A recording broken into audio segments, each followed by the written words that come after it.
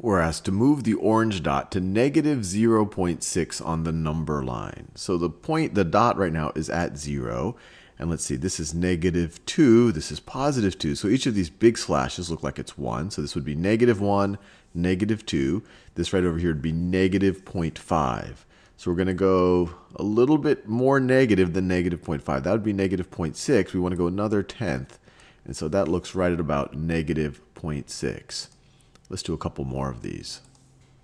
Move the orange dot to 1.9 on the number line. So it seems like we have the same scale as in the previous example. This gets us to 1. In fact, this is 0.5, 1, 1.5. And 1.9 is only going to be a tenth less than 2. So it's going to be, let's see, that's 2, so a tenth less than that.